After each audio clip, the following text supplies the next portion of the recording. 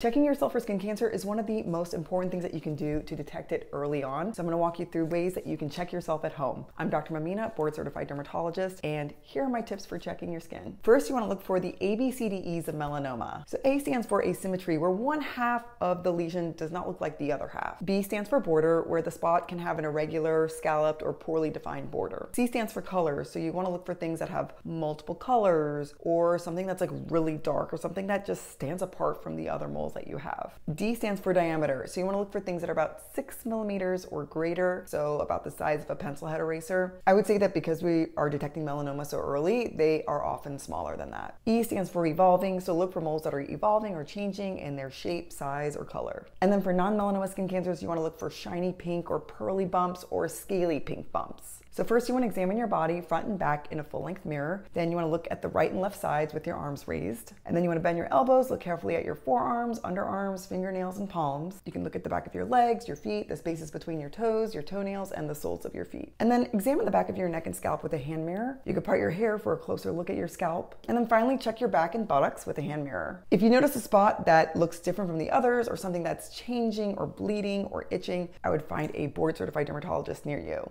I am currently raising funds for an event that I'm participating in for the American Cancer Society. If you want to donate, the link is in my bio.